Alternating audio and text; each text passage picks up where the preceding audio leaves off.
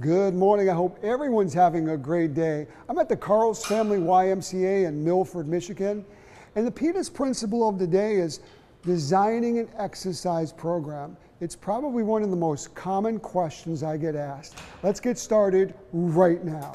A great exercise when weight training is actually a tricep kickback. And I have Deborah, she won a contest to be on my TV show. What you want to do is get a bench, and as Deborah's doing is same arm, same leg, supporting your body.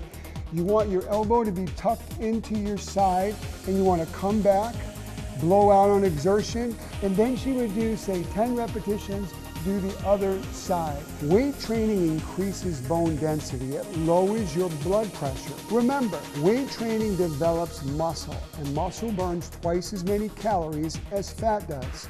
Train every other day. Do two exercises per body part for 10 to 15 repetitions. The other part of the equation for your fitness program spells cardiovascular training.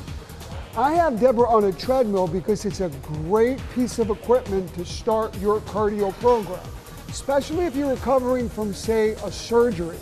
Once you get your doctor's okay, a treadmill is great. Aerobic training should be done four to five consecutive days, and each session should be 45 to 60 minutes at 70% of your maximum heart rate.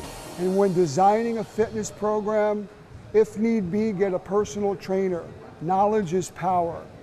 But include these elements nutrition. Be disciplined at the breakfast, lunch, and dinner table because 60% on how you look and feel has to do with what you eat.